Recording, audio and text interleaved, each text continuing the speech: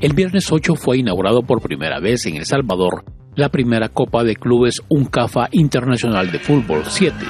Esto por tres días en el Estadio Jorge Mágico González, una rama del deporte que solo lo practicaban en Centroamérica, Honduras y Guatemala, y otros países de Latinoamérica. Con este torneo se suma El Salvador, tanto en la rama femenina como masculina. Desde ya, muy agradecido. Esperamos que este sea un torneo de muchos que tenemos en el 2022. Sabemos de la responsabilidad del gasto económico que cada uno hace, porque esto pues eh, no es gratis. Gracias por el esfuerzo de cada uno de ustedes. Gracias a la Asociación Salvadoreña de Fútbol por aceptar el proyecto de desarrollarlo tal cual va en este momento. Les comento que hicimos el esfuerzo de traer árbitros de México, árbitros de Guatemala y por supuesto que los árbitros salvadoreños también tengan este, este evento acá y que se puedan desarrollar.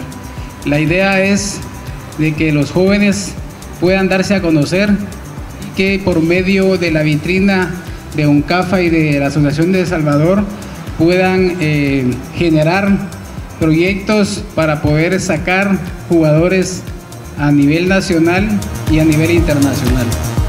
La actividad deportiva organizada por la Asociación Salvadoreña de Fútbol 7 y el apoyo del Instituto de los Deportes INDET y la empresa privada fue catalogada como todo un éxito al momento de su cierre el pasado domingo en horas de la noche.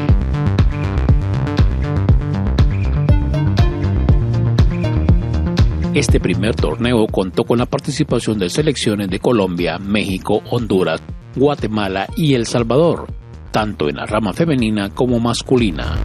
Que al inicio no contábamos con ningún tipo de apoyo y gracias a Dios el ente rector de nuestro país, INDES, ha sido un aliado esencial para que esta copa se esté realizando. Gracias a él contamos con las instalaciones, contamos con el transporte, prácticamente es nuestra casa. INDES ha sido las personas más importantes de este evento y, y quería recalcarlo.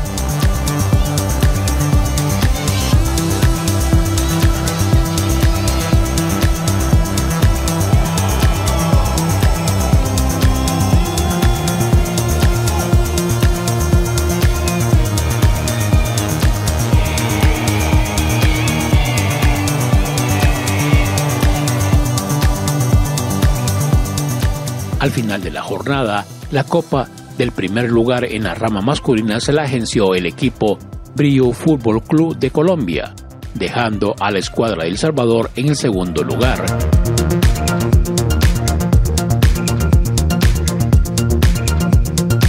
Bueno, Brio Fútbol Club es un equipo eh, muy joven, pero con sus directivas estamos buscando eh, internacionalizar el equipo. Para esto este, eh, decidimos participar en este primer torneo para empezar a salir por el mundo y eh, dar a conocer jugadores jóvenes del club, eh, sacar buenos resultados y generar proyectos de vida desde nuestros jugadores.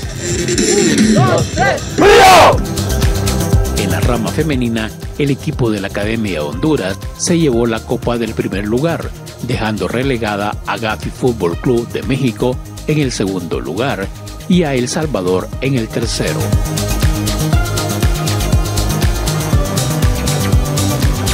La verdad, en nombre de Dios, venimos a sacar buenos objetivos. Esa es la meta, venimos con grandes planes. Esperemos Dios nos dé la oportunidad y las muchachas tengan el coraje de hacer las cosas bien. Para mí es una nueva experiencia poder estar acá y pues una buena oportunidad para que nosotros sigamos creciendo en lo que es a nivel futbolístico y en nuestro deporte que es Fútbol 7, darlo a conocer también porque es primera vez que se implementa acá en el país llegaste a la selección de, El Salvador en, este, en esta rama? Fíjate que yo eh, me di a conocer acá porque yo participé en lo que es la liga femenina y mi equipo fue campeón. Entonces me echaron el ojo, como dicen, vea, porque yo soy la arquera y este, me dieron la oportunidad, me llamó la, profe eh, y me dijo que si yo quería formar parte de este nuevo proyecto y yo acepté. El fútbol 7 no está reconocido por la FIFA, pero la dirección del Instituto Nacional de los Deportes, INDES, brindó todo el apoyo necesario para que esta primera Copa Internacional se realizara. En El Salvador, apoyado por Cecibel Alfaro, informó Baltasar Ventura.